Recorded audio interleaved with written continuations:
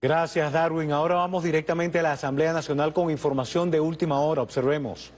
Con Juan Guaidó, Juan Guaidó, ¿qué responden ustedes de un planteamiento como este? Bueno, nosotros hemos dicho que mientras unas cúpulas se pelean por el poder, aquí el día de hoy quedó demostrado ante la historia de este país que el procedimiento constitucional del acto de instalación de la Junta Directiva de la Asamblea Nacional tiene hora, tiene día, tiene fecha y tiene un lugar determinado.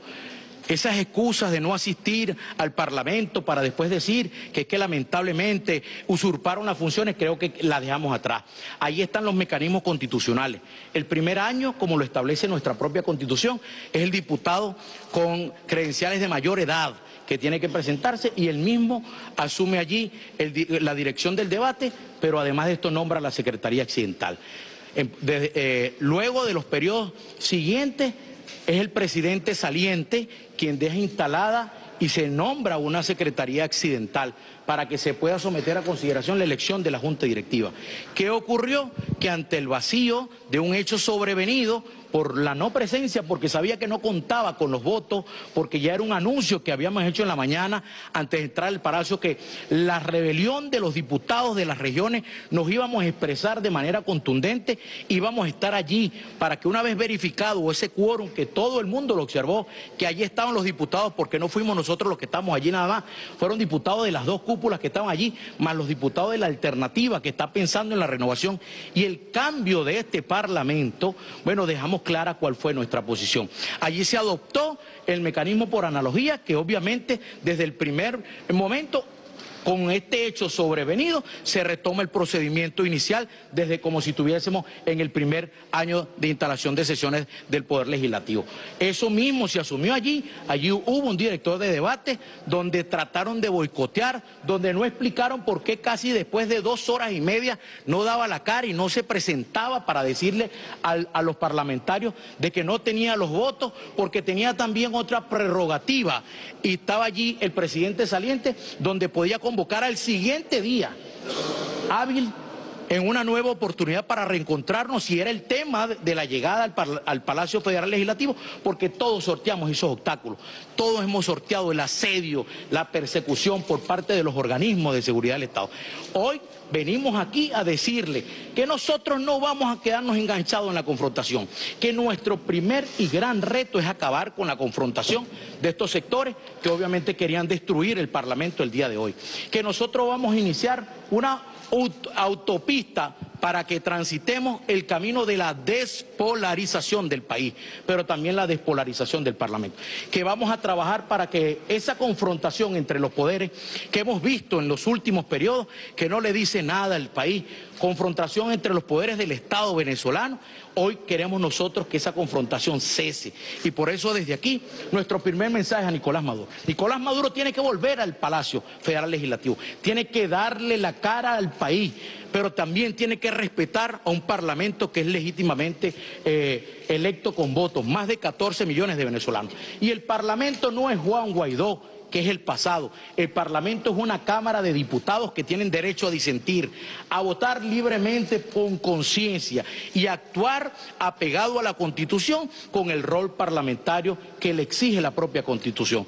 De tal manera que lo que hoy comenzamos a construir en el país tiene mucha fe eh, primeramente puesta en Dios para que ilumine y guíe nuestros pasos, a nuestro santo patrono, San Rafael Arcángel, a todos los santos que de una u otra manera nos ayude a aliviar el dolor y el sufrimiento de nuestra gente con medidas sabias, con una ruta que realmente vaya dirigida a que podamos retomar el camino electoral.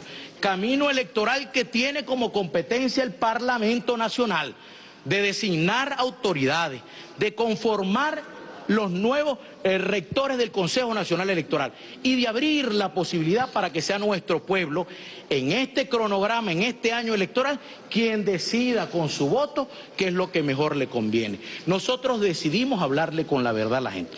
Nosotros decidimos enrumbar este camino hacia un encuentro nacional y estamos seguros de que juntos vamos a renovar y cambiar a Venezuela. ¿Qué le diría a los opositores y a los chavistas? Aquí nosotros no tenemos discriminación porque ninguno de los dos sectores, ni el chavismo ni el opositor, obviamente tienen culpa de lo que es verdaderamente la tragedia.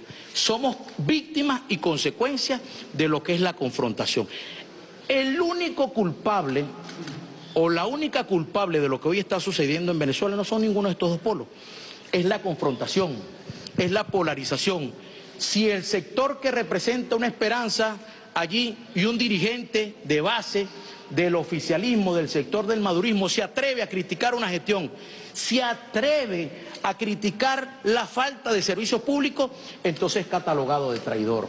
Si nosotros nos vamos al otro extremo, basta tan solo disentir de las políticas equivocadas, erradas, estafadoras, por quienes hoy pretenden preservar y seguir secuestrando el poder legislativo, bueno, entonces te tildan de, traidor y quieren aniquilarte políticamente. Hoy nosotros por encima de todo eso, un conjunto de diputados de las diferentes regiones, de los diferentes partidos, nos pusimos de acuerdo para decir ya basta, el país está primero. Pensando en Venezuela, decidimos avanzar por encima de todos y cada una de estas dificultades. Bueno, 140 diputados estaban allí, allí 150 llegaron con unos que llegaron rezagados. 81 diputados verificando la última lista.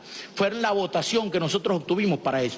Nosotros entramos con 30 diputados y lo dijimos y lo anunciamos con nombre. Aquí está esta fórmula porque no teníamos entre gallos y medianoche nada que ocultar. Le empezamos a hablar de cara al país con nombre y apellido, con rostro que decidimos dar este paso por Venezuela. Y pensando en Venezuela, yo creo que no hay nada más importante para nosotros que seguir seguir consolidando esta lucha y, este, y esta ruta que hoy encaminamos. A las Fuerzas Armadas. A las Fuerzas Armadas le pedimos que sigan el legado del libertador Simón Bolívar, a esas Fuerzas Armadas libertarias, a que no se pongan del lado de ninguna parcialidad política y a que volvamos a la Constitución. Ahí está el rol de una Fuerza Armada y una Fuerza Armada que tiene que velar por los intereses del pueblo de Venezuela. A ellos nuestro reconocimiento y nuestro respeto, porque para poder construir tenemos que salir de la polarización. Para poder reconstruir a Venezuela tenemos que evitar la confrontación. Y esa confrontación que tú le puedes preguntar después de 21 este, años que hemos estado sometidos a esta confrontación, si estamos mejor o peor a la gente en la calle, si eso le resuelve el problema del gas, si le resuelve el problema de la gasolina, si le resuelve el problema de los servicios públicos, si le resuelve el problema de la inseguridad, del alto costo de la vida, si reactiva el aparato económico productivo. Entonces, este Parlamento tiene que salvarse para que iniciemos una ruta y transitemos juntos este camino hacia la reconciliación. Pero sobre todo, pensando en Venezuela, llegó el momento eh, apropiado de hacer lo correcto. Por Venezuela vamos a hacer lo correcto. Por la patria vamos a hacer lo correcto. Y por todos y cada uno de los ciudadanos que tienen la esperanza puesta. Más del 80% de los venezolanos quiere vivir en paz, quiere vivir tranquilo, que la, que la plata le alcance y que pueda tener progreso. Esos 81 votos que están allí, que reflejados que obviamente nosotros los vimos, que trataron de boicotear, de evitar el procedimiento que teníamos la obligación de asumir. Bueno, nosotros con mucho coraje y valentía le tenemos que decir a Venezuela que iniciamos el camino de la reconstrucción del país por encima de estas cúpulas que obviamente pretendían seguir secuestrando el Parlamento y al mundo democrático. Le queremos enviar un mensaje, aprovechar la oportunidad para enviarle un mensaje al mundo democrático, que agradecemos toda la lucha que han dado junto al pueblo de Venezuela para que podamos nosotros consolidar nuestro sistema democrático. Que agradecemos al mundo democrático libre que haya atendido esa diáspora, que haya ofrecido la mano de la ayuda humanitaria. Pero el mundo democrático también le decimos que nosotros queremos como poder legítimo, como poder legislativo, que las decisiones nuestras, que son autónomas, que son legítimas, tienen que ser respetadas. No aceptaremos desde el, Poder Legislativo tutelaje de ningún imperio, ni de izquierda ni de derecha. Aquí el único tutelaje al que estamos sometidos los venezolanos y los diputados es al, al, clamor de la voluntad de un pueblo que espera que nosotros podamos decirle con claridad cómo vamos a salir de la crisis. Muchísimas gracias y seguimos avanzando. hubo 11 diputados que se quedaron fuera, incluyendo Juan Guaidó, justamente por la... Bueno, Juan, Juan Guaidó, Juan Guaidó sabía como todos nosotros que teníamos que estar aquí. Y a, él, nadie le impedía entrar. Aquí la, aquí la excusa, aquí la excusa sencillamente estaba la orden del día, no tenía los votos y por eso decidió quedarse fuera del Palacio Federal Legislativo.